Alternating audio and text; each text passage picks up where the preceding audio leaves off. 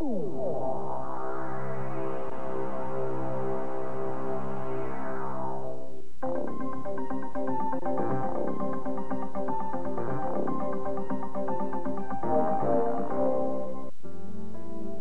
larvas de la tenia solitaria, que suelen hallarse en la carne de cerdo parasitada, pueden ingresar al cuerpo humano mediante la ingesta y localizarse en los músculos y en las vísceras, pudiendo adoptar las formas racimosa, lobular y quística de mayor tamaño.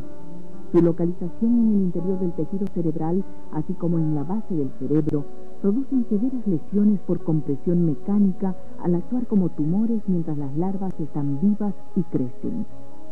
Es aquí cuando constituyen un terrible mal llamado neurocisticercosis.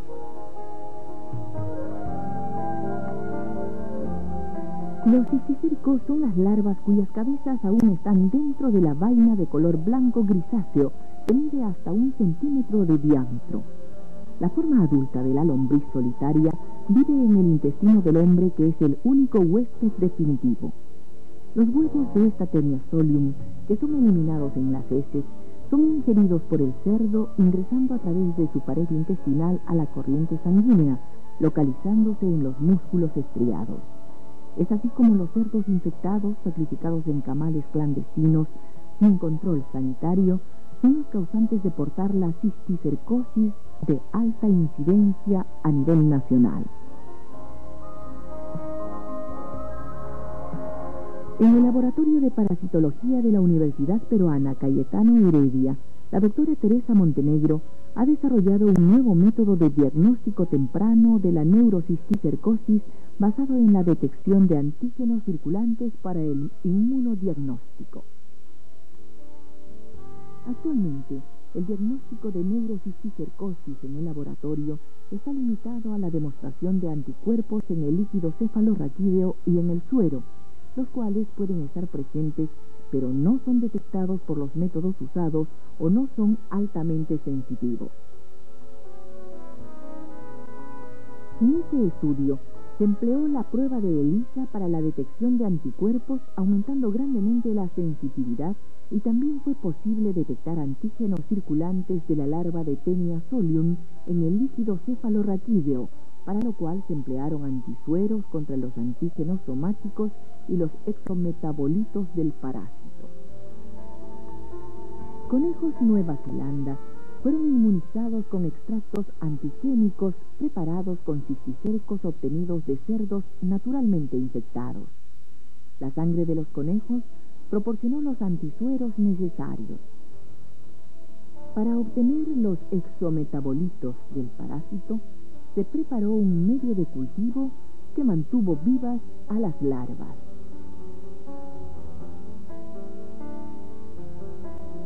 Se empleó el método de ELISA para la detección de antígenos de larvas de Tenia solium en el líquido cefalorraquídeo, colocándolo en placas de microtitulación, incubándolo cada vez y añadiéndole el antisuero y la inmunoglobulina G de conejo conjugada a peroxidasa añadiéndose luego una solución de substrato que permitió la reacción conveniente, observándose la densidad óptica resultante en un lector de ELISA.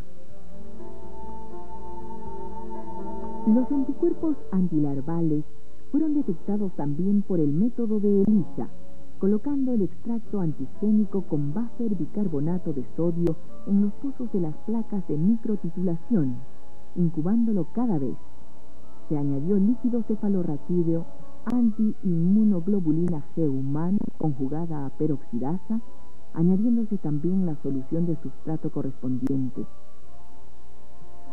Luego que la reacción fue detenida, la densidad óptica resultante fue medida a 490 milímetros en un lector de ELISA. Según los resultados obtenidos, podemos apreciar que es posible detectar antígenos circulantes en líquido cefalorraquídeo de pacientes con neurocisticercosis. Esto se justifica porque los cisticercos in vivo están eliminando productos metabolizados, los cuales tendrán antígenos semejantes a los encontrados in vitro. La prueba de detección de antígeno debe ser considerada entonces, junto a la detección de anticuerpos, el cuadro clínico y la tomografía axial computarizada, como método diagnóstico de neurocisticercosis.